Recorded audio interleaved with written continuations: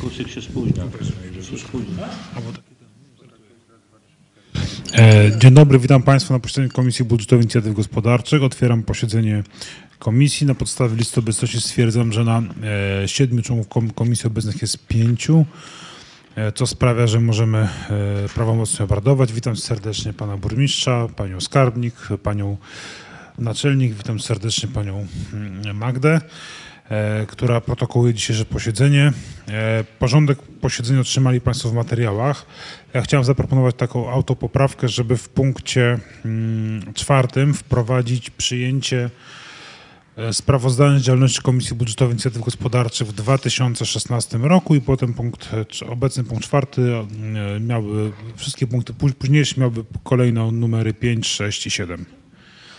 Czy są jakieś uwagi co do tak zaproponowanego po- e, porządku? Proszę bardzo, pan przewodniczący Tomasiek.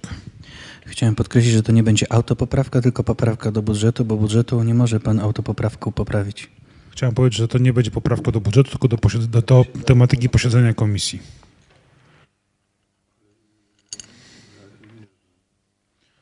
Ja zaproponowałem tematykę posiedzenia i proponuję do niej zmianę. Ale to nieważne. E, Czy, czy ktoś ma przeciwny głos co do. e, Bo spieramy się w zasadzie o nic. E, Czy ktoś ma zastrzeżenia co do proponowanej przeze mnie zmiany? Nie widzę. W takim razie przegłosujmy tematykę posiedzenia. Kto jest za jej przyjęciem, proszę o podniesienie rękę. Dobrze. Czy ktoś ma uwagi co do porządku obrad? Pan radny Gregorowicz, bardzo pana proszę do mikrofonu, ponieważ to się nagrywa, tam leży mikrofon. Więc chciałbym zgłosić poprawkę do punktu. Właśnie gdzie pan tam był? Niech pan to coś tam wciśnie, panie przewodniczący. Halo, halo? Boję się, boję się wciskać, żeby potem nie było jakichś konsekwencji, ale proszę. W punkcie trzecim po, po- poproszę w pierwszym wyrazie wprowadzić czwartą literę A i wtedy będzie dobrze. Ponieważ jest nie, Kto jest za poprawką nie wydanie, tylko wydnie. Umówmy się, że to jest błąd pisarski. Wszyscy wiemy, że to chodzi o wydanie opinii. Nie głosujmy takie rzeczy może, dobrze? Kto jest za przyjęciem? Czy są jeszcze jakieś inne e, poprawki do tematyki posiedzenia? Nie widzę. Kto jest za jej przyjęciem? Proszę o podniesienie ręki do góry. Dziękuję bardzo jednogłośnie. Przechodzimy do punktu trzeciego. Wydanie opinii w sprawach objętych porządkiem obrad 24 sesji Rady Miasta e, Lubartów. E, ja jestem Państwu na początek winien wyjaśnienie. Otóż e, otrzymałem em, telefon z biura Rady Miasta, że pan przewodniczący Rady proponował, żebyśmy na posiedzenia komisji, jeżeli nie ma takiej konieczności, nie zapraszali osób e, spoza Urzędu Miasta, e, co do, żeby nie referowały wszystkich sprawozdań, informacji i tak dalej. Ja na- to przystałem. Jeżeli Państwo nie macie przeciwko temu, rzeczywiście może to jest Wydaje mi się, że to jest dobry pomysł, żeby komisje branżowe się tym, e, się tym e, zajmowały. E, Pan przewodniczący Tomaszek, proszę bardzo.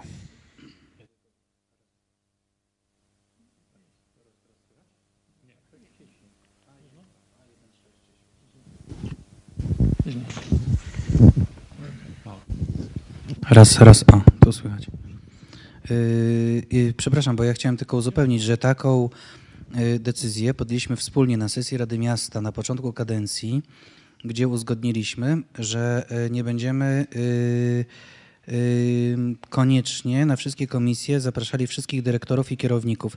I, I przypomnę również, że uzgodniliśmy wówczas na sesji Rady Miasta, że będziemy tak oto obradowali, że jeżeli jakaś komisja uzna, że interesuje ją konkretne sprawozdanie, nawet jeżeli nie będzie branżowa, to wystąpi indywidualnie z zaproszeniem danej osoby na swoją komisję. Natomiast faktycznie to jest bez sensu, tym bardziej, że to było tak, że również przyszła pani dyrektor Kulka, nasza komisja była planowania przestrzennego i budownictwa. Pani dyrektor ledwo siedziała na e, swoim fotelu, tak była przeziębiona i uznaliśmy, że no nie ma sensu również, żebyśmy jako Komisja Planowania Przestrzennego i Budownictwa e, zajmowali się tym, co jest tylko i wyłącznie sprawozdaniem, a nie zaopiniowaniem uchwał, z tym, że z tym również zgodziliśmy się, przypomnę, na sesji Rady Miasta na początku kadencji. Dziękuję bardzo. E, Mam pytanie, czy ktoś, czy możemy pominąć w takim razie w wydawaniu opinii, bo nie opiniujemy tych spraw, te sprawozdania, w- które są w porządku obrad e, sesji Rady Miasta, znaczonym punktami 5, 6, e, 7 i 8. Czy ktoś ma jakiś inny głos? Mam prawo. No ale zadał pytanie jakieś. Proszę bardzo. Jest, jest, przepraszam, nie udzielam panu głosu. Proszę bardzo, ma pan wszystko wypisane tutaj. Czy mam przeczytać? A Mogę e, zabrać głos? Proszę bardzo. Proszę Państwa, e, po co nie życzę sobie, Andrzej, żebyś mi zwracał uwagę, że jeśli ja pytam jeszcze raz o coś, że czego nie usłyszałem. Widocznie mam inną to percepcję niż ty. Więc nie usłyszałem i poprosiłem o powtórkę. Nie był to żart, tylko po prostu stwierdzenie faktów. Więc y, wie- Dobrze, dziękuję. E, Ilekroć pan radny Gregorowicz życzy, zażyczy sobie, żebym coś powtórzył, będę powtarzał wolniej i wyraźniej. E, e, czy mam powtórzyć, czy jest to jasne? Dziękuję bardzo. Czy ktoś ma inne zdanie? Chciałby się, żebyśmy tymi sprawami zajęli? Nie widzę, dziękuję. Przechodzimy zatem do punktu e, pierwszego opiniowanego. To jest e, projekt uchwały w sprawie określenia programu opieki nad zwierzętami bezdomnymi oraz e, zapobiegania bezdomności zwierząt na terenie miasta Lubartów. Pan burmistrz Szumiec.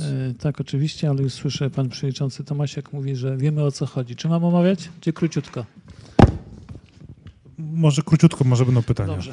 E, W związku z artykułem 11 ustęp 1 ustawy o ochronie e, zwierząt, e, która, który określa, że zapewnienie opieki bezdomnym zwierzętom oraz ich wyłapywanie należy do zadań gminy. Na- Natomiast artykuł 11a wyraźnie o tym mówi, że Rada Gminy wypełniając obowiązek, o którym mówiłem wcześniej, corocznie do dnia 31 marca ma ustalić program opieki nad zwierzętami bezdomnymi oraz e, zapobiegania bezdomności e, tych zwierząt. Tak naprawdę e, projekt ten uchwały nie odbiega niczym od tego, który był podejmowany e, w tamtym roku, bo ani kwota finansowa się nie zmienia, ani podmioty, które występują e, w tym projekcie uchwały, czyli e, schronisko, które nadal e, sprawuje, e, pomaga nam e, w realizowaniu e, opieki nad zwierzętami. Schronisko oczywiście w Nowodworze, jak również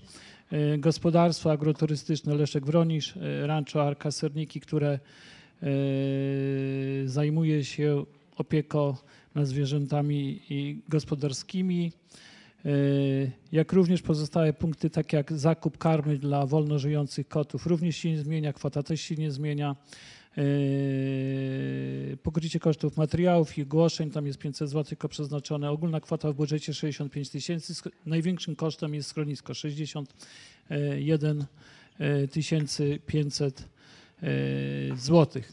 Ja tylko chciałbym dodać, że jestem w posiadaniu raportu o działalności naszego schroniska i to jest dosyć ważny element tego projektu, jak i później uchwalonej przez Państwa uchwały e, i na poprzednich komisjach było takie życzenie, żeby taki raport rozdać. E, Większość z Państwa już te raporty ma, ale Ty Kuba chyba jeszcze bodajże nie masz i chyba Andrzej, Jasiu ma, Pan Przewodniczący ma. Także ja miał tyle, jak będą pytania, proszę bardzo. Dziękuję bardzo. Czy są jakieś pytania? Uwagi? Nie widzę, dziękuję. Proponuję, żebyśmy przeszli do opiniowania tego projektu. Kto jest za wydaniem pozytywnej opinii, proszę podniesienie ręki do góry. Dziękuję bardzo, jednogłośnie pozytywnie. Następny projekt uchwały w sprawie dostosowania sieci szkół prowadzonych przez miasto Lubartów do nowego ustroju szkolnego. Pani naczelnik, bardzo proszę. E, Przedstawiany e, dzisiaj projekt uchwały dotyczący dostosowania sieci szkół jest konsekwencją przyjętej e, miesiąc temu przez Radę Miasta uchwały w sprawie projektu dostosowania, ponieważ jak Państwo sobie pewnie przypominacie, e, podjęta przez Radę Miasta wówczas e, uchwała e, trafiła do zaopiniowania do lubelskiego kuratora oświaty oraz związków zawodowych. Uzyskaliśmy pozytywne opinie i konsekwencją e, jest ta uchwała, ten projekt, który e, Państwu e, prezentujemy. Już nie o projekcie dostosowania, o dostosowaniu sieci szkół prowadzonych przez miasto Lubartów do nowego ustroju szkolnego.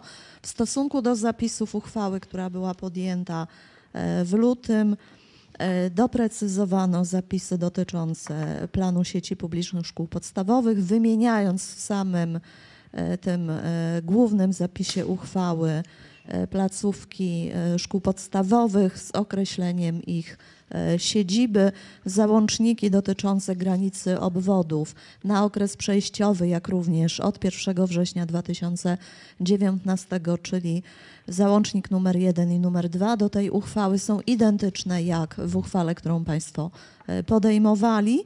E, Rozszerzono zapisy w paragrafie drugim dotyczące oddziałów gimnazjum numer 1 i gimnazjum numer 2, które e, będą włączone do szkół podstawowych i wprowadzono jako nowy załącznik numer 4, którym, w którym określa się warunki włączenia tychże gimnazjów do publicznych ośmioletnich szkół podstawowych. I ponieważ e, o tym mówiliśmy w trakcie konsultacji komisji, jak również e, samej na sesji Rady Miasta, że konsekwencją włączenia oddziałów gimnazjum numer 2 do szkoły podstawowej numer 3 jest przeniesienie tych oddziałów do siedziby szkoły podstawowej numer 3. E, Stąd zaistniała konieczność także zapisu, i to jest nowy paragraf e, 3, e, o przeniesieniu siedziby drugiego liceum ogólnokształcącego z dotychczasowej siedziby przy ulicy 1 Maja do budynku po gimnazjum numer 2. I- I to są e, zmiany, które w tejże uchwale proponujemy. To tyle, dziękuję bardzo. Dziękuję bardzo. Czy są jakieś pytania, uwagi, propozycje zmian do projektu uchwały? Pan Przewodniczący Zieliński, bardzo proszę. Chciałbym zapytać o status nie tylko pracowników, ale także i e, rodziców, uczniów szkół włączonych do szkoły podstawowej. Chodzi mi o, e, o Radę Rodziców, o samorząd uczniowski, o rady pedagogiczne, o zarząd szkoły, czyli to wszystko, co wiąże się z włączeniem gimnazjum i e, gimnazjum numer 1 i gimnazjum numer 2 do szkół podstawowych. Jaka jest ich sytuacja prawna? Można prosić. E, Jeżeli chodzi o em, Radę Pedagogiczną, konsekwencją, zacznę może od tego gremium, e, konsekwencją włączenia oddziałów gimnazjalnych do szkoły podstawowej e, z dniem 1 września zarówno społeczności, jak i Rada Pedagogiczna czy Rady Pedagogiczne, e, pracownicy administracyjno-obsługowi. Konsekwencją będzie także Rada Rodziców, która ukonstytuuje się już po 1 września 2017 roku. Skoro staje się to jedną placówką, a więc e, trzeba będzie dostosować e, statuty tych szkół do tego okresu przejściowego, czyli e, tych dwóch lat, w trakcie których obok dzieci szkoły dotychczasowej sześcioletniej szkoły podstawowej znajdą się dzieci również tych oddziałów gimnazjalnych. Rada Pedagogiczna, póki co są to dwie odrębne, bo jeszcze dwie odrębne e, szkoły, myślę tutaj o szkole numer 3 i gimnazjum numer 2, jak również szkole podstawowej numer 1 i gimnazjum numer 1. Do 31 sierpnia funkcjonują oddzielnie, natomiast z dniem 1 września stają się jedną placówką, więc będzie jedna dyrekcja, dyrektor szkoły podstawowej, e, dotychczasowy dyrektor staje się wicedyrektor, e, gimnazjum, przepraszam, bo nie dopowiedziałam, staje się wicedyrektorem w tej szkole podstawowej, natomiast nauczyciele stają się jedną e, radą pedagogiczną e, szkoły podstawowej. Z tym, że będą to zarówno nauczyciele dotychczasowej szkoły podstawowej, jak i oddziałów gimnazjalnych. Kwestia, ilu tych nauczycieli znajdzie się w Radzie Pedagogicznej, to jest póki co, bo tak zgodnie z tłumaczeniami, wyjaśnieniami i zapisami ustawy. E, W tej chwili będziemy za moment na etapie tworzenia arkuszy organizacyjnych, więc te arkusze, e, mimo że są odrębne jeszcze placówki, ale będą tworzone wspólnie przez dyrektora szkoły podstawowej i gimnazjum. A więc i Rada Pedagogiczna, i w tych arkuszach znajdą się zapisy dotyczące i nauczycieli uczących do tej pory w jednej szkole i w drugiej szkole. I tak samo jeśli chodzi o pracowników obsługowych, a więc konsekwencją y, po 1 września 2017 będzie to, że zarówno y, samorząd uczniowski, jak i Rada Rodziców będzie jakby zorganizowana już dla tej jednej placówki wspólnej.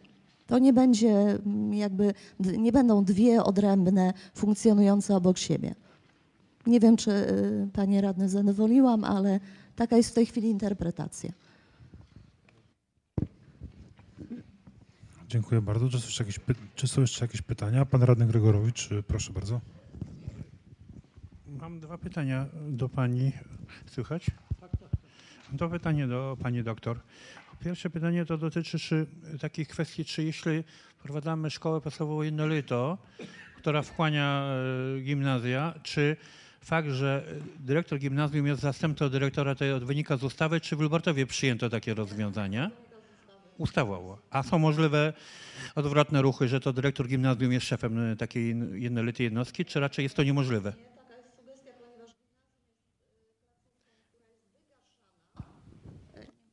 No właśnie, bo to jest... Ponieważ gimnazjum jest placówką, która jest wygaszana, to będą już tylko oddziały dwóch roczników gimnazjalnych.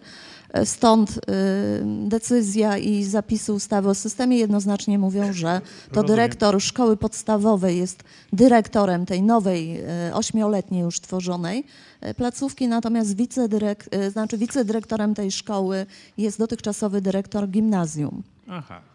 Zrozumiałem pani doktor. I jeszcze mam drugie pytanie. Ponieważ mamy podjąć uchwałę o dostosowaniu sieci, rozumiem, że należy więc teoretycznie dopuścić, że Rada może nie przegłosować takiej uchwały. To się wtedy dzieje, gdy y, przypominam, przypominam sobie, że są y, gminy, gdzie, które odmówiły, zapowiadały przynajmniej, że w ogóle nie przystąpią do pracy nad dostosowaniem w ramach pewnego buntu czy oporu przed, przed tymi zmianami. Ale zostawmy bunty, wróćmy do tego, co, co już jakby częściowo od no radnego. Zielińskiego usłyszałem. Co się dzieje, gdy Rada nie przegotuje takiej uchwały? No właśnie, e, ponieważ e, zapisy ustawy są jednoznaczne, reformę e, wprowadzamy, więc wojewoda taką e, uchwałę uchyli. Proszę bardzo, pan przewodniczący Zieliński.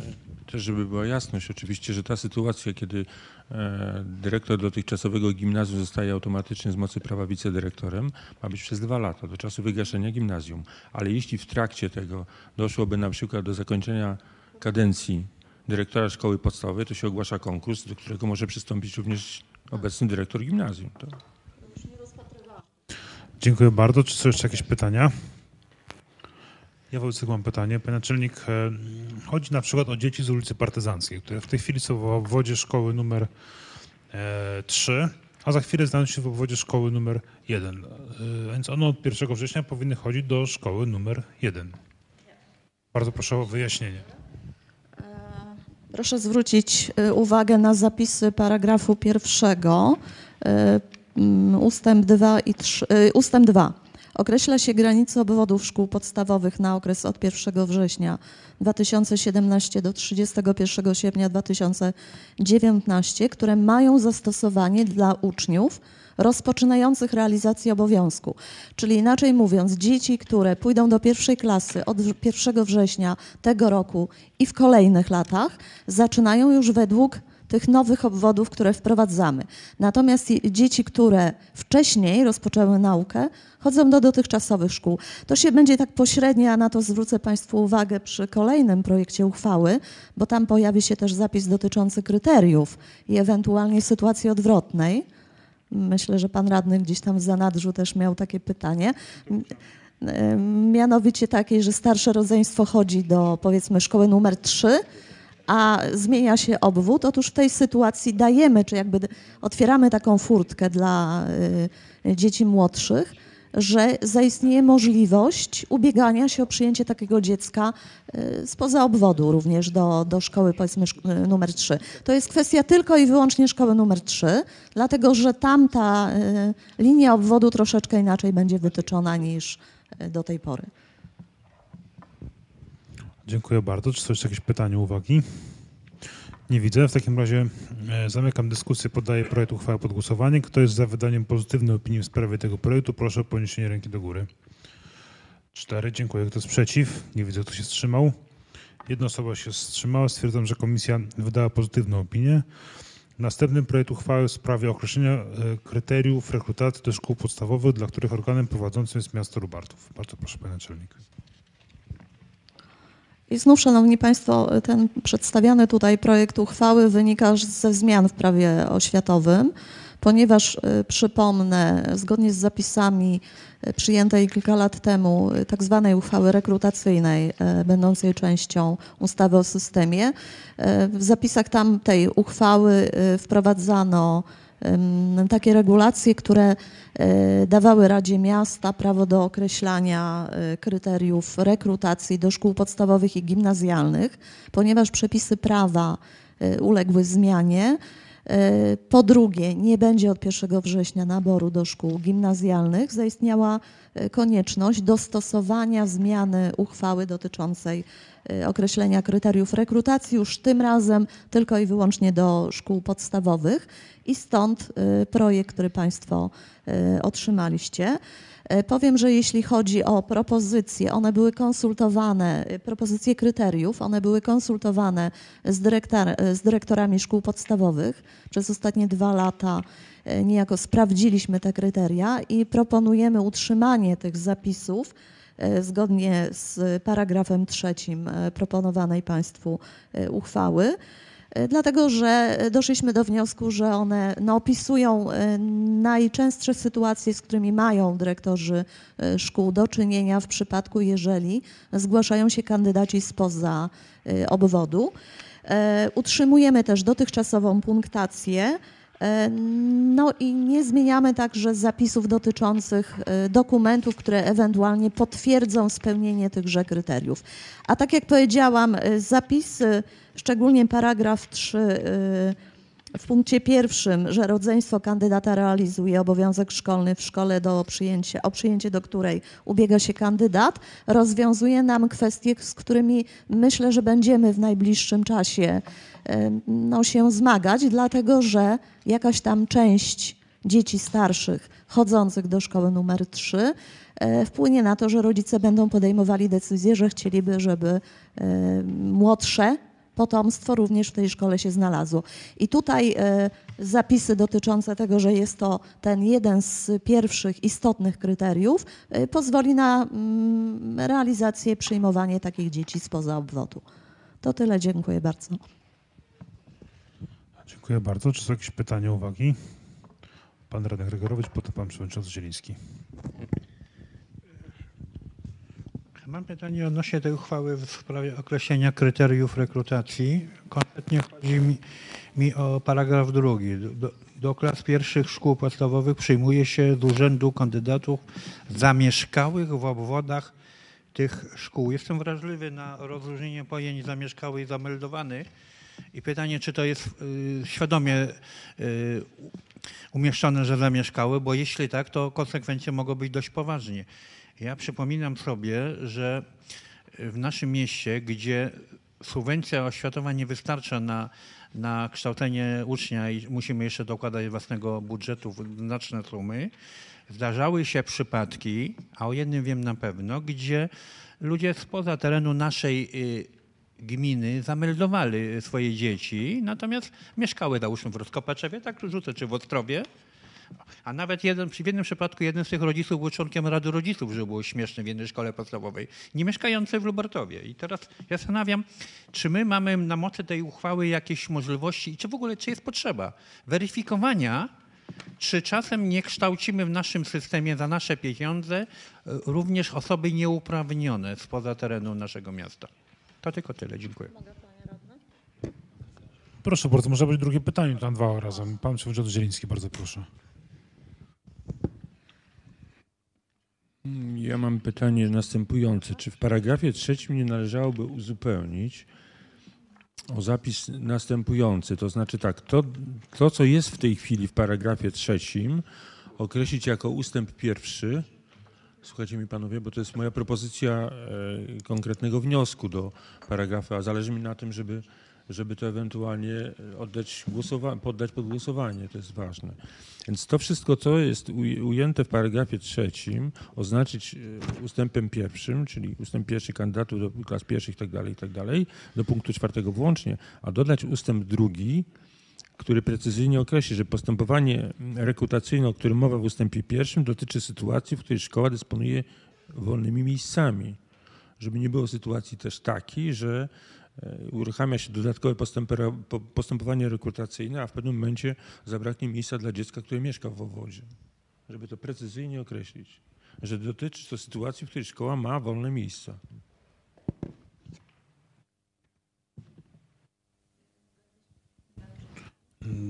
Proszę bardzo, otwieram dyskusję nad tym wnioskiem. Panie naczelnik, proszę. E, To znaczy tak, e, odpowiadając panu radnemu Gregorowiczowi, e, ja w pewnym momencie powiedziałam, że jeśli chodzi o zapis, który dotyczy paragrafu drugiego, przyjmuje się z urzędu kandydatów zamieszkałych w obwodach tych szkół. Zamieszkałych, dlatego że tak stanowi zapis ustawy, ustawy oświatowej. E, I e, pan radny tutaj przywołał e, kwestię tego, że przemeldowują. Otóż właśnie dlatego zapis jest, że niezameldowanych, bo były w przeszłości takie przypadki, że ludzie celowo przemeldowywali, zameldowywali u krewnych, znajomych tak dalej, żeby dostać się do tej wybranej przez siebie szkoły. Natomiast jeżeli jest zamieszkałych, to zgodnie z, za, z zapisami szczegółowymi e, ustawy rekrutacyjnej e, w tej chwili e, rozporządzenia, bo takie rozporządzenie e, jakiś czas temu, kilka dni temu pani minister podpisała, e, gmina ma e, prawo sprawdzić w sytuacji, kiedy są jakieś wątpliwości, czy rzeczywiście dziecko zamieszkuje w danym obwodzie, e, sprawdzić, czy tak jest na podstawie no, bardzo wielu e, różnych elementów, no, którymi do, e, dysponuje u siebie na terenie gminy. I powiem, że tak w poprzednich latach się działo, w momencie, kiedy były wątpliwości, jeśli chodzi o przyjęcia do szczególnie gimnazjów bo był nadmiar kandydatów do jednej ze szkół i myśmy analizowali, prosili o wyjaśnienia, o potwierdzenia i tak. Natomiast jeżeli chodzi o propozycję pana radnego Zielińskiego, to ja przypomnę, że te kryteria rekrutacji, które przyjmuje Rada Miasta, dotyczą jakby już tego postępowania uzupełniającego, czyli tak jak jest zapis, paragraf drugi, że przyjmuje się z urzędu kandydatów zamieszkałych w obwodach szkół, czyli jeżeli dziecko mieszka na terenie e, placówki, na terenie obwodu danej placówki, to rodzic zgłasza tylko, zapisuje dziecko do szkoły i na tym jego jakby działania się kończą. Natomiast wszystkie dzieci spoza obwodu podlegają procesowi rekrutacyjnemu. I tutaj są tak zwane e, kryteria ustawowe, to jest siedem kryteriów dotyczących niepełnosprawności, rodziców kandydata niepełnosprawnych i tak dalej. To jest pierwszy jakby e, ciąg, to się punktuje e, w sposób jednakowy, czyli jednym punktem. W każdym razie e, to jakby pozwala na przejrzenie, zweryfikowanie tej listy w sytuacji, i tylko i wyłącznie w takiej sytuacji, jeżeli szkoła dysponuje wolnymi miejscami. Jeżeli do szkoły zgłosi się, zapisze się tyle dzieci, ile miejsc ustalono, to już dalsze postępowanie rekrutacyjne nie jest prowadzone. Chyba, że organ prowadzący, widząc, że jest taka sytuacja, że jest taka potrzeba, jest y, dużo y, podań, y, zdecyduje o zwiększeniu liczby oddziałów w danej szkole. Bo może być sytuacja, że na przykład do szkoły numer 3, wbrew temu, co planowaliśmy, co wynikało z naszych wyliczeń demograficznych, e, będzie więcej podań i będzie trzeba utworzyć jeszcze powiedzmy kolejny oddział, natomiast w którejś innej szkole lubartowskiej tych dzieci zgłosi się mniej i wtedy będzie ten jeden oddział powiedzmy e, mniej. E, Czyli reasumując, ja nie wiem, czy mam wątpliwości, powiem szczerze, czy jest aż potrzebny zapis jeszcze, tak jak pro- proponował pan radny Zieliński. Dlatego, że te kryteria e, zadziałają dopiero w momencie, kiedy szkoła ma jeszcze wolne miejsca, natomiast wszystkie dzieci z obwodu zostały przyjęte. I wtedy Biorąc pod uwagę ilość podań, deklaracji, które rodzice w tym okresie rekrutacyjnym składają, dyrekcja analizuje, powołuje komisję, która analizuje, mając e, kryteria, które przyjęliśmy, punktuje to i może się okazać, że to wystarczy już do tego, żeby wszystkie miejsca wolne zapełnić, a może być taka sytuacja, że zostaną jeszcze wolne miejsca, i na przykład będzie można przyjąć wtedy ewentualnie dzieci spoza miasta Lubartowa, bo te kryteria, y, zwracam uwagę, dotyczą mieszkańców y, miasta Lubartowa.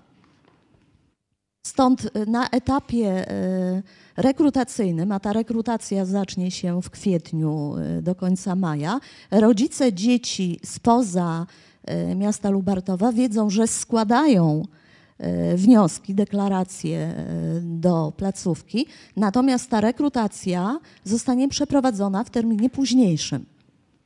W momencie, kiedy przeanalizuje się wnioski złożone, te, które spłynęły z terenu miasta. Dziękuję bardzo. Czy ktoś ma jeszcze jakieś pytania, uwagi? Pan przewodniczący Zieliński, proszę bardzo.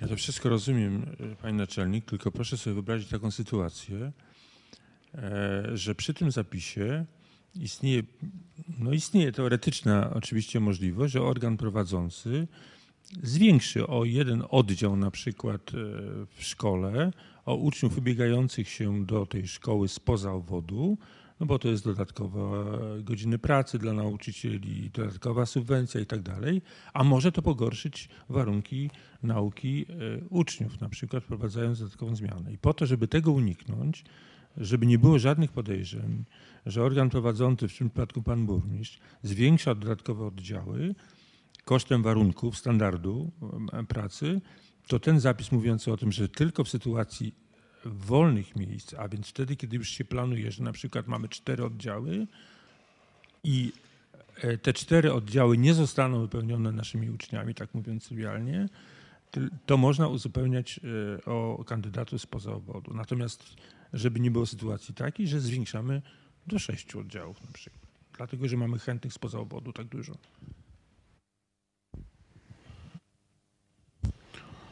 Dziękuję bardzo. Czy pan radny podtrzymuje swój wniosek? E, Ja mam taką propozycję, może troszeczkę uprościć ten wniosek. Wpisać po prostu, że w drodze uzupełniającego postępowania rekrutacyjnego. I wtedy nie będziemy musieli zmieniać i by to załatwiło. Czyli w para- paragraf trzeci, to tak by ten, e, systematyka pozostałaby zmian, natomiast e, w paragrafie trzecim w drodze uzupełniającego postępowania rekrutacyjnego uwzględniając następujące kryteria. Czy pan e, e, Rady przyjmuje ten wniosek? Dobrze. Czy do e, tego wniosku są jakieś uwagi? Nie widzę. Czy możemy przegłosować tą poprawkę? Kto jest za przyjęciem tej poprawki, proszę o podniesienie ręki do góry. Dwie osoby. Dziękuję. Kto jest przeciw? Nie widzę. Kto się wstrzymał? Trzy osoby się wstrzymały. Dziękuję. Stwierdzam, że komisja poprawkę przyjęła. Czy są jeszcze jakieś inne poprawki co do e, e, treści uchwały? Projektu uchwały. Nie widzę. Czy są jakieś inne głosy? Też nie widzę, dziękuję. W takim razie przechodzimy do głosowania projektu uchwały z tą poprawką. Kto jest za jego y, pozytywnym zaopiniowaniem, proszę o podniesienie ręki do góry. Jednogłośnie, dziękuję bardzo. Stwierdzam, że komisja pozytywnie zaopiniowała projekt uchwały wraz z tą e, poprawką. Przechodzimy do następnego e, punktu w sprawie, e, za, przepraszam bardzo, zaopiniowanie projektu uchwały w sprawie przyjęcia programu ograniczonej emisji dla miasta Lubartów. Inicjatywa uchwałodawcza grupy radnych tworzących klub radnych Platformy Obywatelskiej. Na początek pozwolicie Państwo, że, że e, poproszę, prze- przepraszam bardzo, ale e, nie wiem dlaczego w materiałach nie znalazło się uzasadnienie do projektu uchwały, które przesłaliśmy jako inicjatorzy do, do Biura Rady Miasta. I bym wdzięczny, jakby się dało to uzupełnić na, na sesji, ponieważ inaczej projekt uchwały jest e, no, niekompletny i nie spełnia kryteriów, które, które powinien był spełniać, a pan przewodniczący myślę, że wie, że zauważy, że takie uzasadnienie było, kiedy było e, to e, przesyłane. Na pewno było to uzasadnienie przesyłane. To bardzo proszę, pan przewodniczący był łaskaw sobie przypomnieć, to wtedy będziemy e, wiedzieć na pewno. E, E, Natomiast ja chciałem zaproponować pewne autopoprawki bardzo natury czysto technicznej. Otóż w samym ten nagłówku powinno być Rady Miasta Lubartów, a nie Rady Miasta w Lubartowie. Po drugie, w podstawie prawnej powinien być tam, gdzie e, przywołujemy jako podsta- podstawę prawną ustawy o samorządzie gminnym, powinien być e, tekst jednolity dziennik ustaw z 2016 roku, pozycja 446 z późniejszymi zmianami. I na koniec również Rada Miasta, nie w Lubartowie, tylko Rada Miasta Lubartów uchwala, co następuje. W podstawie prawnej. I potem Rada Miasta Lubartów uchwala, co, co następuje. To wszystko. Bardzo proszę. Czy y, y, trzeba referować projekt uchwały, czy y, może są jakieś pytania, to chętnie odpowiem. Bardzo proszę, otwieram dyskusję. Pan radny Ścisał, proszę bardzo. Ten projekt y, uchwały no, związany jest y, z uchwałą budżetową, z budżetem miasta. I chciałem dopytać jaką kwotę przewidują tutaj y, radni wnoszący ten projekt uchwały na realizację tego projektu w skali roku. To jedno pytanie. Dru, drugie pytanie. Y, Dlaczego nie uwzględniono zmiany systemu grzewczego na e, paliwo stałe, tak zwany pellet? Przypomnę, miasto y, robiło nabór wniosków na projekt ze środków, finansowany ze środków unijnych i tam oprócz y, fotowoltaiki, oprócz y, solarów również w ramach tego projektu finansowanego y, przez Unię Europejską była wymiana instalacji na, na właśnie na pellet, na paliwo stałe pellet, które jest paliwem ekologicznym. A to pytanie właśnie w związku z tym, że z jednej strony dopuszcza się podłączenie do miejskiej sieci ciepłowniczej, gdzie właśnie ta sieć jest no, źródłem energii w tej sieci jest paliwo stałe węgiel, prawda? A z drugiej strony nie dopuszcza się peletu jako, jako tego paliwa e, ekologicznego. Kolejne mam pytanie trzecie. Czy były przeprowadzane jakieś ankiety w w naszym mieście? Czy po prostu będą osoby e, zainteresowane? Jaka jest skala zainteresowań ewentualnie takim, ta, taką uchwałą, ta, takimi zmianami prawnymi? I, I ostatnie pytanie odnośnie naboru wniosków, bo tak mi trochę to pachnie okresem socjalizmu y, staniem w kolejce, bo jest zasada, kto pierwszy złoży wniosek, ten będzie załatwiony, prawda? Y, Tak przynajmniej tutaj wyczytałem w, w tej uchwale. Jak to panowie sobie wyobrażają? Czy może być sytuacja, że rano o czwartej rano ustawi się kolejka po to, żeby złoży, złożyć wniosek jako, jako pierwszy, prawda? To te cztery pytania. Dziękuję. Mogę odpowiedzieć, tak? E, Dobrze. Więc po pierwsze, e, w, w, w budżecie na 2017 rok zarezerwowano na realizację tego programu ograniczenia niskiej emisji 105 tysięcy złotych. E, To jest w tej chwili wpisane w budżetu, natomiast ja myślę, że możemy podejść do tej kwoty. Potem, jeżeli z- będziemy znali liczbę wniosków, które wpłynęły do, do urzędu w tej sprawie, możemy ją zwiększyć, możemy zmniejszyć. To, to naprawdę jest ciężko prognozować, aczkolwiek e, tu nawiązuję do skali zainteresowania. E, Powiem szczerze, że e, mam bardzo dużo telefonów i informacji z pytaniem, gdzie można składać te wnioski, kiedy można składać i tak dalej. Oceniam to na ponad 100 w tym momencie osób e, zainteresowanych. Nawet dzwoniono do mnie z Urzędu Miasta, e, pytano, gdzie te wnioski można składać, czy już są dostępne, bo ludzie już stoją w kolejkach i chcą, chcą e, składać. To po pierwsze. Po drugie pytanie o pelet. E, otóż my, my założyliśmy to, że, że chodzi o zmianę sposobu jakby zaopatrywania w energię cieplną. Rzeczywiście te piece peletowe są, są dużo bardziej ekologiczne niż piece węglowe, ale też nie wiem, czy w tych piecach nie można palić czymś innym niż tylko, e, niż tylko peletem. Czy można spalać też e, tylko pelet. Chodzi o to, żeby jakby przyznając dotację, zachęcić ludzi do, trwałego, do trwałej zmiany źródła, e, źródła ogrzewania na, na bardziej ekologiczne. E, I po trzecie, e, podłączanie do, e, mm, do miejskiej sieci ciepłowniczej. Rzeczywiście miejska sieć ciepłownicza w większości za, zasilana jest węgiel, węglem, natomiast tylko chcę zwróćmy uwagę na to, że są zainstalowane odpowiednie filtry, odpowiednie technologie, na które e, indywidualnych e, jakby wytwórców ciepła nie bardzo stać, natomiast takiego zbiorowego stać. Poza tym wysokość też komina e, jakby eliminuje tą niską emisję, te najbardziej e, e, sz- e, szkodliwe pyły. E, Na początku jeszcze chciałem też Państwu uzupełnić, jakby, bo e, to, to nie wynika z braku uzasadnienia, ale też nie powiedziałem, że podobne progr- programy są przyjęte w dużej e, liczbie miast na terenie Polski. Między innymi bardzo podobny program funkcjonuje też, e, też e, w, w, Lu- w Lublinie. Warunkiem takim chyba identycznym w tych poszczególnych projektach czy tych uchwałach czy programach jest to, że żeby ubiegać się o dotację, jest rezygnacja, jest całkowita likwidacja możliwości ogrzewania e, piecem węglowym czy piecem na, na inne paliwa, po to, żeby e, e, jakby ta inwestycja z budżetu miasta w, w, tą, w tą czystszą technologię była trwała, żeby to nie było tak, że ktoś rzeczywiście podłącza, a w innym okresie, czy, czy, czy jak mu tam jest wygodnie, spala odpady w tych piecach, czy, czy, czy, czy dogrzewa się węglem. Nie wiem, czy na wszystkie pytania odpowiedziałem, starałem się. E, Powiem szczerze, ciężko było sobie wyobrazić inne, natomiast jeżeli Państwo macie inne poprawki czy inne propozycje, bardzo proszę e, zgłaszać. Można to przecież rozważyć, to nie jest e, Biblia. Możemy dyskutować o, o treści e, tej uchwały. To może zupełnie Pan Przewodniczący Zieliński.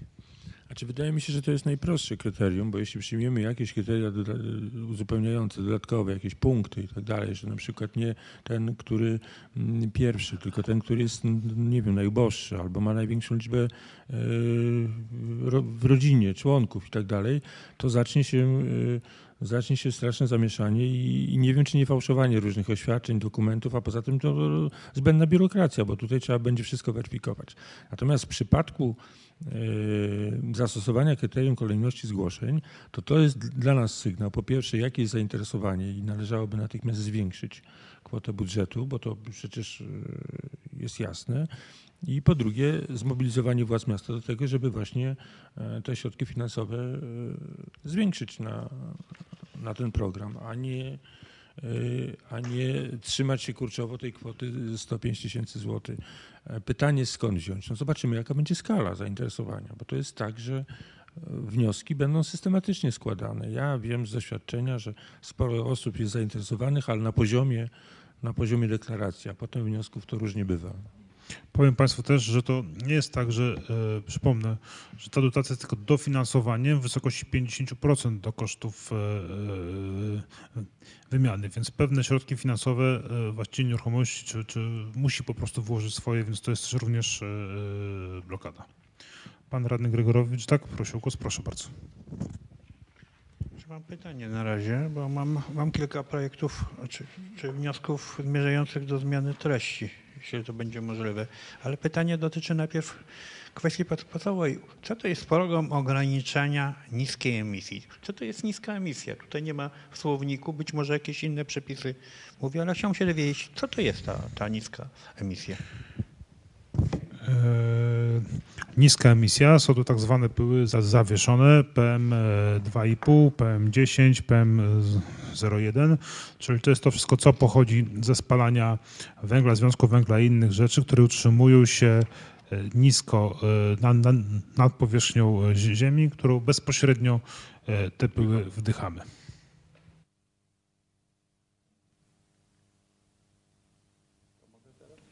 Oczywiście, proszę bardzo. Mam nadzieję, że odpowiedziałem. Jeżeli nie, to y, y, postaram się znaleźć definicję naukową, którą panu przedstawię na jeśli sesji. tak, jeśli podejść już praktycznie do, te, do tekstu, to ja mam póki co dwie uwagi, że pierwsza rzecz, że realizację tych, y, tej uchwały powierza się burmistrzowi, nakazując mu powołanie komisji. No negatywne mam doświadczenia z komisjami powołanymi przez burmistrza, przykład budżetu obywatelskiego, ponieważ z reguły wykonanie uchwały powierza się burmistrzowi, ja bym mu zostawił, w jaki sposób y, on zamierza te wnioski wd- wdrożyć, ponieważ y, zaznaczam, że może to powodować, że pan burmistrz na podstawie jeszcze dyrektywy, że to musi być komisja, to zechce sobie powołać niektórych radnych albo z jakichś opcji politycznych takich czy innych, właśnie, żeby odejść od pewnych skojarzeń o charakterze nie merytorycznym, a politycznym, to y, zostawiłbym mu dowolność, kto, jakie ciało, w jaki sposób powołane przez niego będzie to wdrażać.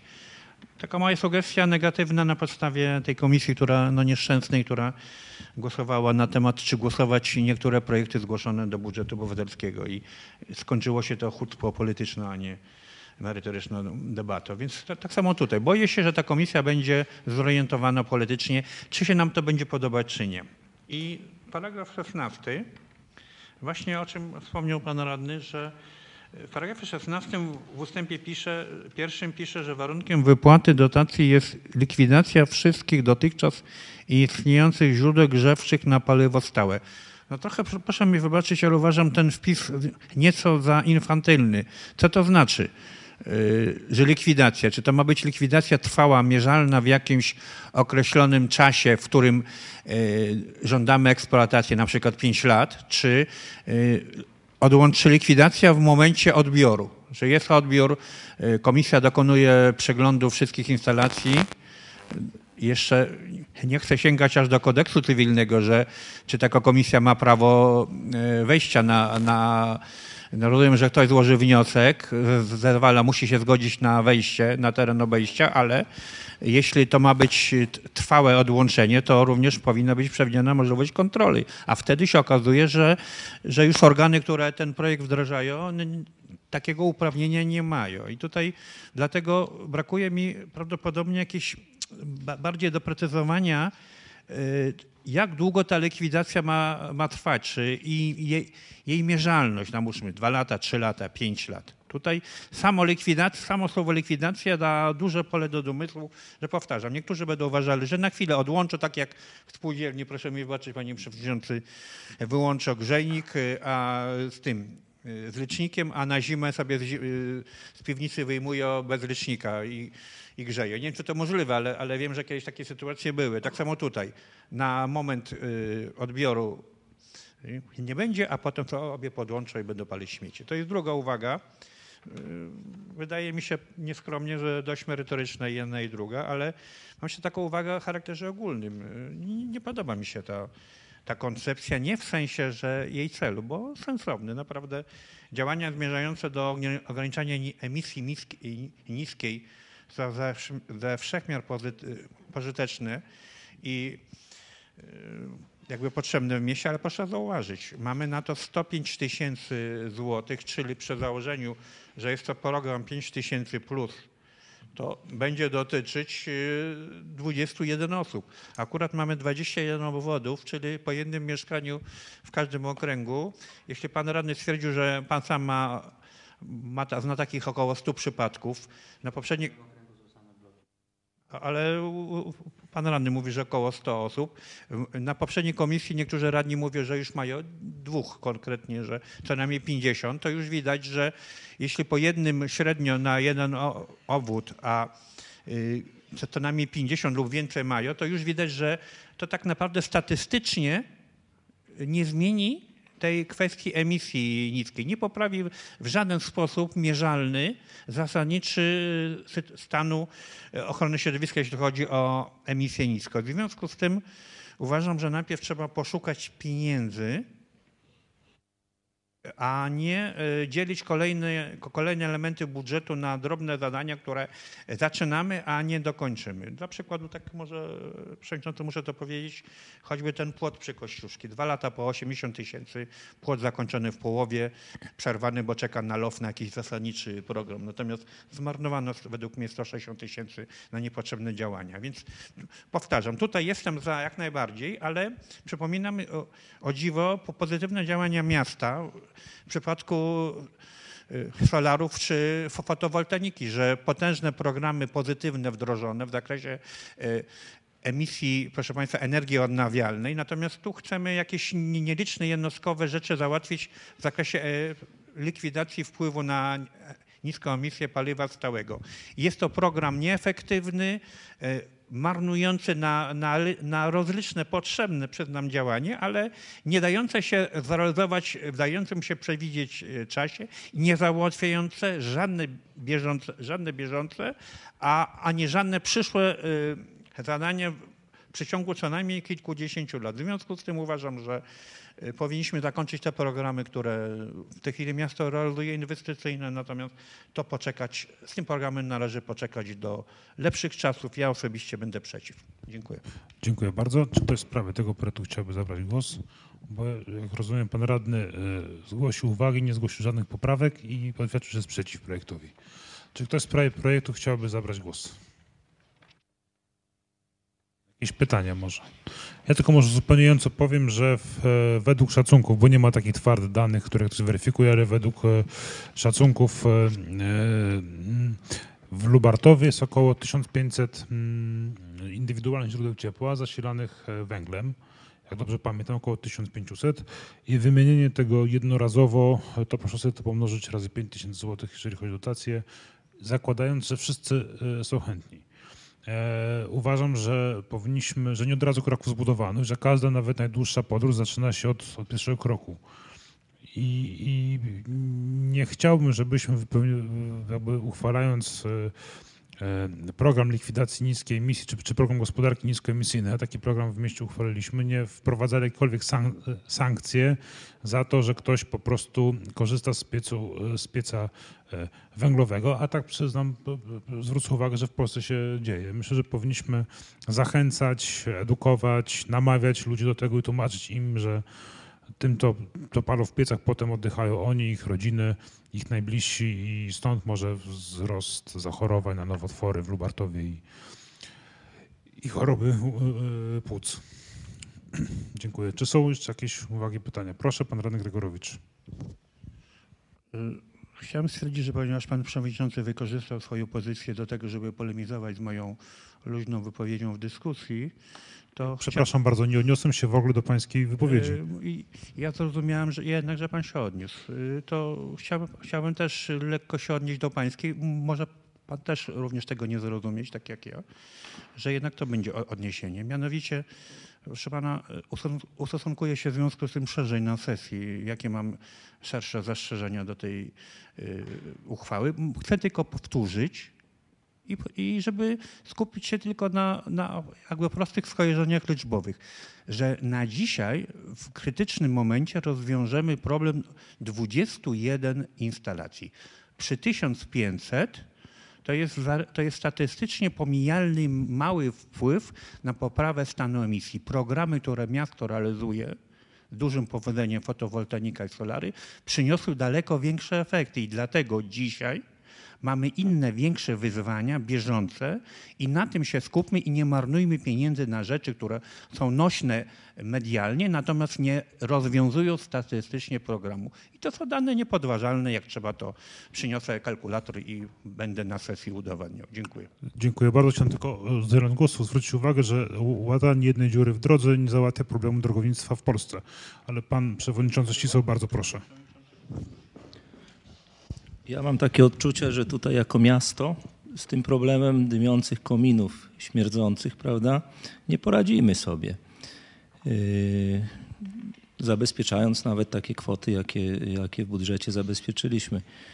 Ten problem powinien być yy, rozwiązany wyżej, na, po, na poziomie rządu. Tymczasem zwróćmy uwagę, na co stawia nasz rząd, prawda, na, na to narodowe złoto, na, na węgiel, który w tej chwili no, powszechnie jest używany również w naszym mieście do opalania mieszkań i domów.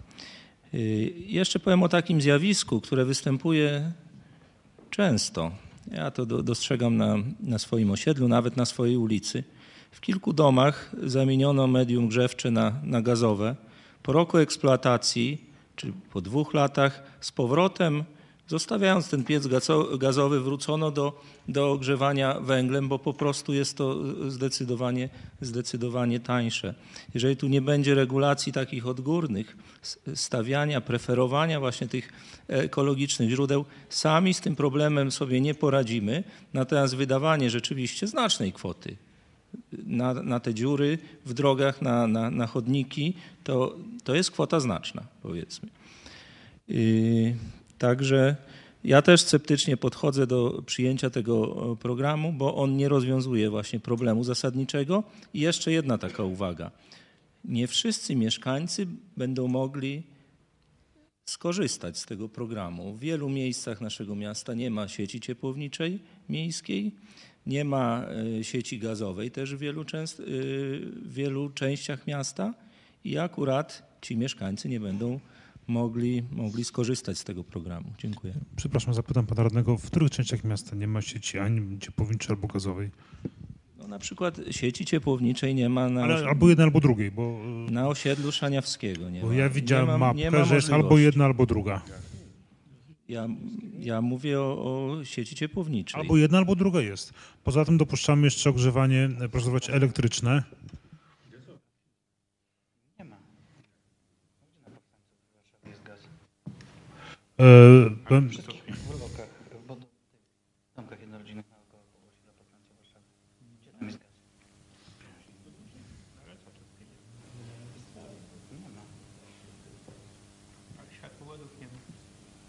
E, widziałem mapkę, e, która jest załącznikiem do uchwały Rady Miasta, którą przyjęliśmy w 2015 roku.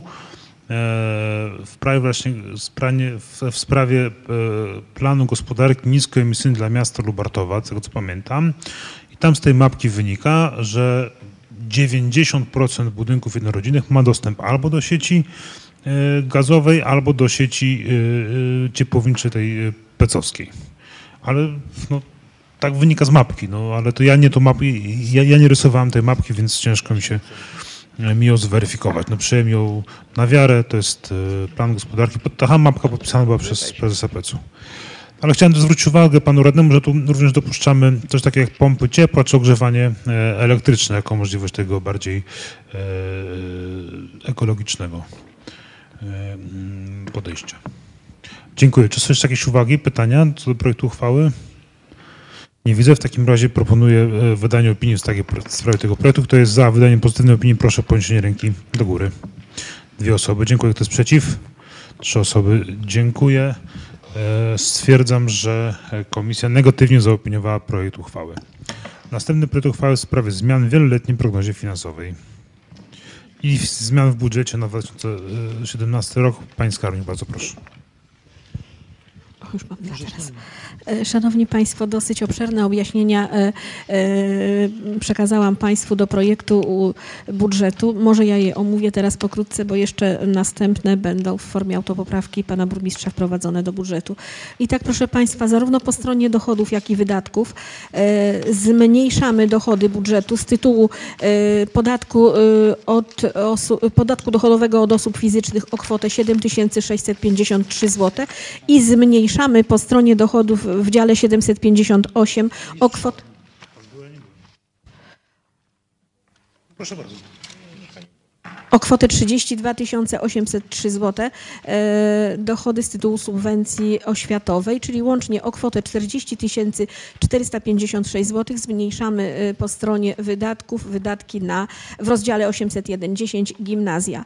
Kolejna zmiana dotyczy zmiany zasad ewidencji dochodów budżetu państwa realizowanych przez jednostki podległe miastu i tutaj proszę Państwa w związku z obowiązkiem e, przeprowadzenia środków przez budżet, czyli po stronie dochodów i po stronie wydatków w dziale 852 pomoc społeczna. Zwiększamy dochody o 59 tysięcy i zwiększamy wydatki y, o 59 tysięcy. Odpowiednio w rozdziale 852 13 o 2014 o 7 tysięcy i 18 o 50 tysięcy. Kolejna zmiana dotyczy działów 855, y, działu 855 i tutaj po stronie dochodów zwiększamy y, dochody miasta 60, o 63 500 zł, a po stronie wydatków odpowiednio w rozdziale 855.01 o 21 500 zł i w 855.02 świadczenia rodzinne o 42 tysiące. Y, Ponadto na wniosek pani dyrektor MOPS-u zmieniamy paragrafy dochodów z paragrafu 0970 przenosimy plan do 0940 i jest to kwota 3285 zł. Kolejna zmiana to dział 900 gospodarka komunalna. Tutaj proszę Państwa wprowadzamy zarówno po stronie dochodów, jak i po stronie wydatków w rozdziale 902 kwotę 442 967 zł i są to środki otrzymane w formie pomocy finansowej od miasta Świdnik, a w budżecie miasta przeznaczone na e, zapłatę składki inwestycyjnej dla Związku Komunalnego Gmin e, Ziemi Lubartowskiej e, na realizację zadania inwestycyjnego. Kolejna zmiana również w dziale 900 i tutaj proszę Państwa zmiana ta dotyczy wprowadzenia zarówno po stronie dochodów, jak i budżetów środków na realizację zadania pod nazwą Czysta Energia dla Lubartowa. W 28 grudnia została podpisana umowa na realizację tego zadania, ale wszystkie środki zapisane na to zadanie zostały w wieloletniej prognozie finansowej jako wydatki roku 2018. W związku z faktem, iż y, jest możliwość realizacji tego zadania już w roku bieżącym, po stronie dochodów wpisujemy więc kwotę 770, przepraszam, 922 193 zł, z czego 775 317 to planowane do otrzymania w roku bieżącym środki y, pochodzące z Unii Europejskiej, natomiast kwota 145 876 zł to wpłaty y, beneficjentów tego projektu, czyli osób, które w bieżącym roku miałyby y, zainstalowane y, piece i piece na biomasę i instalację solarną. Po stronie wydatkowej wprowadzamy natomiast kwotę 997 543 zł i kwota ta jest wyższa od strony dochodowej o 75 350. Kwota ta to VAT, który miasto będzie musiało odprowadzić od wykonanych inwestycji. Y, Natomiast do budżetu środki te wpłyną y, y, po odzyskaniu ich od Urzędu Skarbowego w roku 2018. Różnicę tą w wysokości 75 350 zł pokryjemy ze środków, które wprowadzamy do budżetu w, po stronie przychodów. I tutaj, proszę Państwa, kwota ta wprowadzana dodatkowo wynosi 626 122 zł, z czego, tak jak powiedziałam, 75 350 przeznaczymy na VAT y, do projektu Czysta Energia dla y, Lubartowa. Natomiast pozostało, o pozostałą kwotę, czyli o 550 772 zł, zmniejszymy y, dochody ze sprzedaży majątku w dziale 700 gospodarka mieszkaniowa. I tutaj jeszcze opisane zmiany, które Państwo żeście otrzymali w objaśnieniach, dotyczą już tylko samych y, wydatków, czyli załącznika numer 2. I tutaj, proszę Państwa, y, w dziale 801.01 y, y,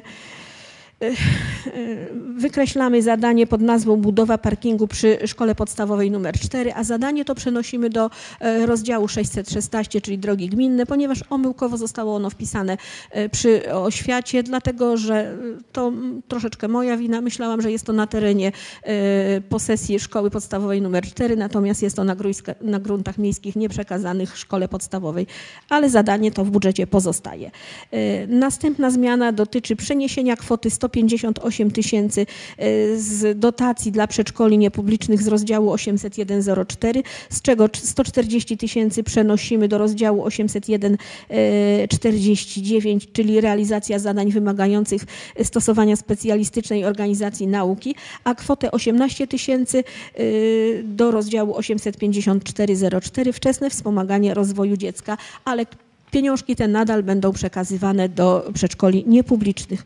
Y, Kolejna zmiana to przeniesienie kwoty 29 878 zł z rozdziału 855,95 do rozdziału 852,95 na wniosek pani dyrektor MOPS-u. Te zmiany były omówione w budżecie, natomiast proszę Państwa, w związku z faktem, iż sesja odbywa się na koniec y, kwartału, a już po przekazaniu Państwu materiałów y, na sesję otrzymaliśmy y, y, spore pieniążki. Decyzją wojewody lubelskiego z dnia 20 marca przyznano miastu środki w wysokości, y, w wysokości 1 milion 105 188 zł i, środki te wprowadzamy po stronie dochodowej w, w, dziale 801, natomiast po stronie wydatkowej 100 350 zł zgodnie z decyzją wojewody to środki przeznaczone na dla, przedszko- dla klas zerowych w szkołach podstawowych, a kwota 1 milion 4 838 zł to środki, które należy wprowadzić jako dotacje dla przedszkoli niepublicznych, ponieważ e, środki na bieżące funkcjonowanie przedszkoli publicznych zabezpieczyliśmy w pełnej wysokości w budżecie. Kolejna zmiana to również decyzja wojewody z dnia 20 e, marca i tutaj tą decyzją wojewoda przyznaje nam środki w wysokości 70 199 zł i są to środki przeznaczone na stypendia socjalne i zostaną e, zapisane w formie autopoprawki w rozdziale 854.15 budżetu. Kolejna zmiana, proszę Państwa, dotyczy działu 995. Tutaj otrzymaliśmy informację od Związku Komunalnego Gmin Ziemi Lubartowskiej, że przekaże nam dotację z przeznaczeniem na e, inwestycje e, e, e, z zakresu ochrony środowiska. I tutaj, proszę Państwa, środki te wprowadzamy, tak jak powiedziałam, w dziale 9 900 po stronie dochodów, a w dziale 900, rozdziale 995 y, po stronie wyda- wydatków i przeznaczamy na... y, A nie powiedziałam. Y, Jest to kwota 218 726 zł i środki te przeznaczamy na zadanie pod nazwą Modernizacja rowu odpływowego przy ulicy Pradnik. Zadanie to również zamieścimy w załączniku numer 5. I w tym sposobem, proszę Państwa, zwiększymy y, dochody budżetu. Tutaj y, w uchwale budżetowej kwotę y, 896 432 zł zastąpimy kwotą 2 290 545 zł, a kwotę y, zwiększa się wydatki budżetu gminy tu kwotę 1 522 544 zł zastąpimy kwotą 2 916 667 zł. Dochody budżetu po zmianach wyniosą 86 992 554 zł 31 groszy, natomiast wydatki będą stanowiły kwotę 93 92 276 31 zł. I jeszcze zmiany w formie autopoprawki pana burmistrza. Tutaj, proszę Państwa, z działu 71095 y, przeniesiemy kwotę 30 tysięcy y, do działu 905 ochrona powietrza atmosferycznego i będą to środki y, zarówno po stronie dochodów, jak i wydatków i będą to środki zabezpieczone w budżecie, ale w nieodpowiednim dziale na naprawę sprzętu, na ewentualne naprawy sprzętu solar, y, zestawów solarnych, y, bo y, w przypadku uszkodzenia takiego zestawu zostaje dokonana naprawa, miasto płaci za to i odzyskuje te środki od beneficjentów, czyli od osób, u których te zestawy solarne są montowane. I kolejna zmiana to również na wniosek naczelnika wydziału przenosimy środki z działu 705 y, na, do działu 616, czyli drogi gminne. Jest to kwota 20 tysięcy, która jest niezbędna na e, wykonanie e, remontów dróg, na zwiększenie wydatków na remonty dróg. Te dwa, dwie ostatnie zmiany nie wpływają na wysokość budżetu. To tyle, jeśli chodzi o zmiany w budżecie, natomiast w wieloletniej prognozie finansowej yy, yy, wiersz dotyczący roku 2016 został uzupełniony o wykonanie budżetu, bo dotychczas był, były wpisane plany finansowe roku 2016. W tej chwili już są wpisane kwoty wynikające z wykonania budżetu. Natomiast wiersz dotyczący roku 2017 będę yy, po tych autopoprawkach musiała dostosować do zmian, które y, są w budżecie, czyli zwiększymy dochody i wydatki o kwoty, o których mówiłam. Natomiast jeśli chodzi o załącznik numer dwa, y, wykaz przedsięwzięć, y, w wierszu y, numer 1121 y, dotyczącym zadania pod nazwą Czysta Energia dla Lubartowa, tak jak mówiłam przy uchwale budżetowej, kwotę 997 543 zł przenosimy e, z- limitu wydatków z roku 2018 do limitu wydatków roku 2017, e, przy czym e, wartość zadania nie ulega zmianie i pozostaje nadal w wysokości 5 604 037 zł. Tyle jeśli chodzi o zmiany w wieloletniej prognozie finansowej i w budżecie na bieżący rok. Dziękuję bardzo. Czy są jakieś uwagi, pytania co do obu projektów uchwał? Pan Przewodniczący Tomasiak, proszę. Ja mam pytanie o program Czysta Energia. Y, Czyli ja rozumiem, że bo ta pierwotna ocena tego programu chyba była dosyć y, zła dla miasta Lubartowa. Miasto się odwołało, rozumiem?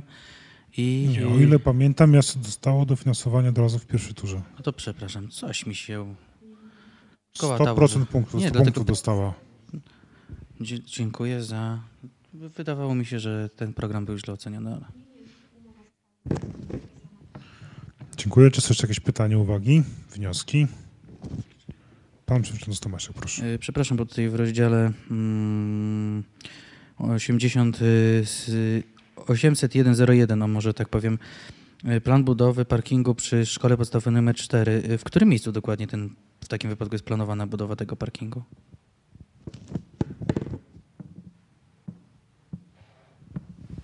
Znaczy to jest przy szkole podstawowej numer 4 i ja sugerując się, że to jest przy szkole podstawowej numer 4. Myślałam, że to jest na placu szkoły podstawowej numer 4. Okazuje się, że to już jest poza terenem szkoły podstawowej numer 4, ale to, to ja tak...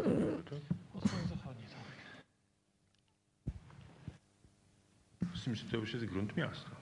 Tak, to jest grunt miasta, dlatego też... e, szkoły. Tak, dlatego, dlatego też należało przenieść do rozdziału 616, żeby no po prostu nie mylić, że to jest wydatek szkoły i, i oświaty. Dziękuję. Czy są jeszcze jakieś pytania? Uwagi radny Gregorowicz, proszę bardzo. Czy w tej budowie będzie partycypować gmina Lubartów? Czy to jest z uwagi na to, że znaczna część dzieci się uczy tam z gminy Lubartów? Parkingu? No, parking się z budżetu, z budżetu wynika. E, Dzieci również? Jeżeli, jeżeli pan burmistrz nie zaprzeczy, to ja powiem, że nie będzie partycypować. Czy są jeszcze jakieś pytania, uwagi? Nie widzę. W takim razie e, proponuję, żebyśmy wydali opinię w sprawie obu projektów uchwał. Pierwszy w sprawie zmian w wieloletnim prognozie finansowych. Kto jest Państwu za wydaniem pozytywnej opinii, proszę o podniesienie ręki do góry. Jedna osoba, dziękuję. Kto jest przeciw? Jedna, dziękuję. Kto się wstrzymał? Trzy, dziękuję bardzo. Stwierdzam, że komisja nie wydała opinii w tej sprawie. Drugi projekt uchwały w sprawie zmian w budżecie na 2017 rok. Bardzo proszę, kto jest za wydaniem pozytywnej opinii. Dwie osoby, dziękuję. Kto jest przeciw? Jedna osoba, kto się wstrzymał? Dwie osoby się wstrzymały. Stwierdzam, że komisja wyda, wydała pozytywną opinię w sprawie tego projektu uchwały. Następny projekt uchwały w sprawie zatwierdzenia planu pracy Komisji Rewizyjnej Rady Miasta Lubartów na 2017 rok. Z racji tego, że nie ma wnioskodawców, nie ma chyba już nas członków Komisji Rewizyjnej, e, projekt uchwały jest w materiałach. Czy są jakieś uwagi, propozycje zmian do projektu uchwały? Nie widzę, dziękuję. Podaję pod głosowanie. Kto jest za wydaniem pozytywnej opinii w sprawie tego projektu, proszę o podniesienie ręki do góry. Trzy, dziękuję. Kto jest przeciw? Jedna osoba, kto się wstrzymał? Jedna osoba. Stwierdzam, że komisja wydała pozytywną opinię. Następny projekt uchwały w sprawie planu pracy Komisji Budżetowej Inicjatyw y, Gospodarczych Rady Miasta Lubartów na 2017 rok. Czy są jakieś uwagi, propozycje zmian co do projektu uchwały? Nie widzę. Kto jest za wydaniem pozytywnej opinii w sprawie tego projektu? Proszę o podniesienie ręki do góry. Cztery osoby. Dziękuję. Kto się wstrzymał? Nie widzę. Się, y, kto jest przeciw? Przepraszam bardzo. Nie widzę. Się wstrzymał? Nie widzę. Pan radny Gregorowicz głosował. Za, przepraszam. Pięć, e, e, pięć za. E, e, Komisja wydała pozytywną opinię. Następny projekt uchwały jest w sprawie przyjęcia planu pracy Komisji Planowania Przestrzennego i Budownictwa Rady Miasta Lubartów na 2017 rok. E, Czy ktoś z Państwa ma jakieś uwagi co do projektu uchwały? Nie widzę. Kto z Państwa za wydaniem pozytywnej opinii? Proszę o podniesienie ręki do góry. Cztery. Dziękuję. Kto jest przeciw? Nie widzę, się wstrzymał. Jedna osoba się wstrzymała. Stwierdzam, że komisja wydała pozytywną opinię. Dziękuję Państwu bardzo. Przechodzimy do następnego punktu. Przyjęcia sprawozdania z działalności Komisji Budżetowej Inicjatyw Gospodarczych w 2016 roku.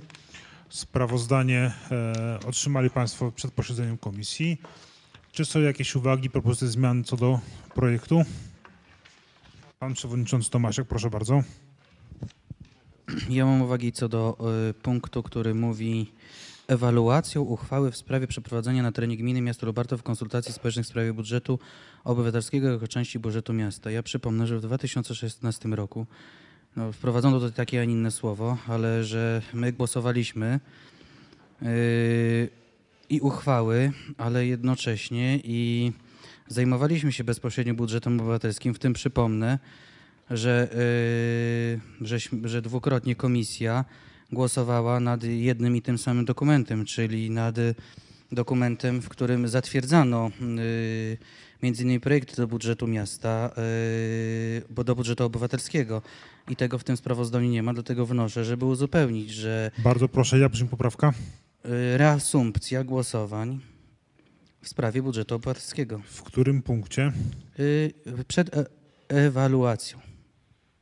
Czyli, e, przepraszam, mógłby Pan Przewodniczący powiedzieć, jak to mam za- zapisać? Podjęcie decyzji o ponownym głosowaniu, może będzie bardziej zrozumiałe dla wszystkich, projektów w sprawie budżetu obywatelskiego. I kolejny punkt również, bo komisja odmówiła tego, brak zgody na reasumpcję w sprawie budżetu obywatelskiego na 2017 rok.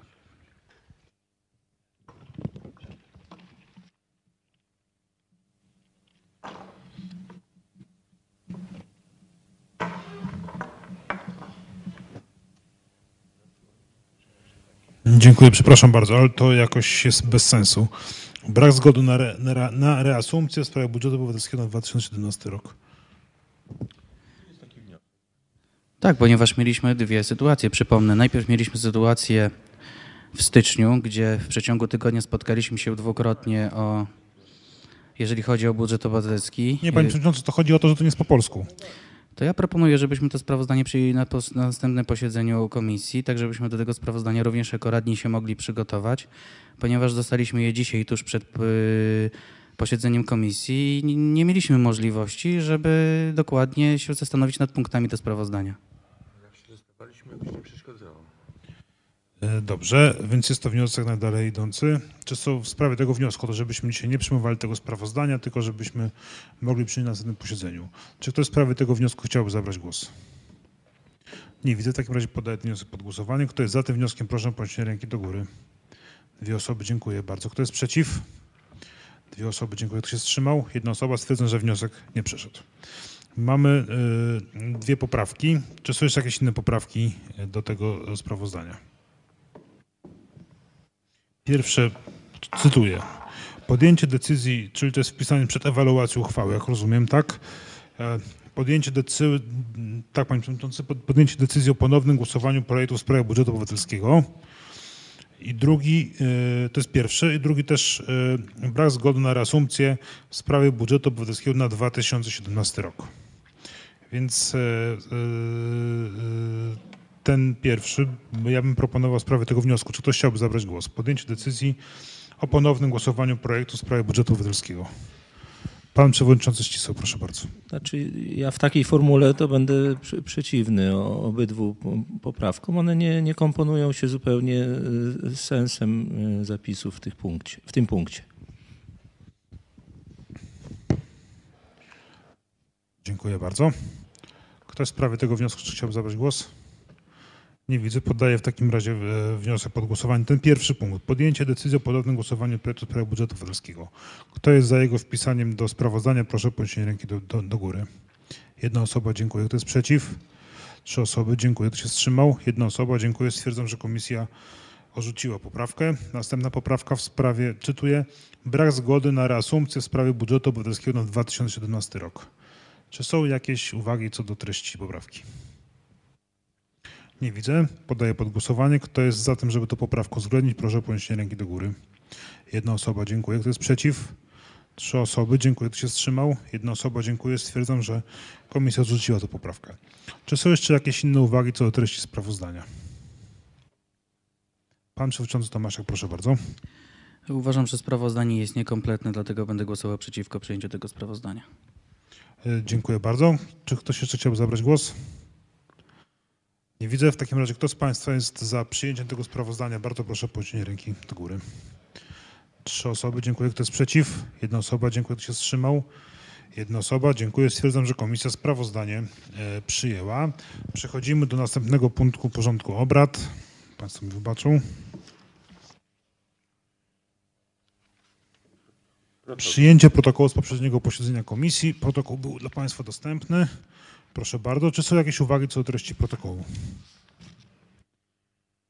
Nie widzę. W takim razie poddaję pod głosowanie. Kto z Państwa za przyjęciem tego protokołu, proszę o podniesienie ręki do góry. Jednogłośnie dziękuję. Stwierdzam, że komisja protokół przyjęła. Otwieram punkt wolne wnioski. Bardzo proszę. Kto z Państwa w tym punkcie chciałby zabrać głos? Pan Przewodniczący Ścisły, proszę bardzo. Ja mam takie zapytanie, ponieważ na jednej sesji pan przewodniczący Tomasiak pytał o aw- awarię instalacji solarnych, a nie, nie mogłem zostać akurat do końca tej sesji, a tymczasem tutaj na komisji słyszę, że miasto zabezpiecza dodatkowe kwoty na usunięcie usterek, to chciałem się zapytać o, o sytuację właśnie tych instalacji. Czy dużo jest tych usterek, czy, czy dużo tych spalonych instalacji, czy, czy można być spokojnym mając taką instalację? Panie Skarbnik, tak? Bardzo proszę. Ja chcę powiedzieć, że miasto nie zabezpiecza dodatkowych pieniędzy. One były od początku zabezpieczone tylko w złym e, rozdziale, bo w rozdziale e, 710, a nie, nie dlatego, że jakaś jest zwiększona awaryjność. Nie, nie. Tylko przenosimy do właściwego rozdziału, ponieważ nowe zadanie też będzie realizowane w tym rozdziale 905, a one były, te pieniądze były zawarte już i w projekcie budżetu, tylko mówię, w niewłaściwym rozdziale i tylko dlatego. Dziękuję bardzo. Co też w punkcie wolne wnioski jeszcze? Właśnie, bo pytałem się o, awary- o awaryjność. Czy, czy można być spokojnym, czy, czy rzeczywiście tych awarii jest dużo? Pan burmistrz Szymec, tak? E, Z tego, co jest mi wiadomo, bo ja rozumiem, że Pana interesuje to, co Pan e, Przewodniczący Tomasiak e, ostatnio na sesji dopytywał e, Pana Burmistrza.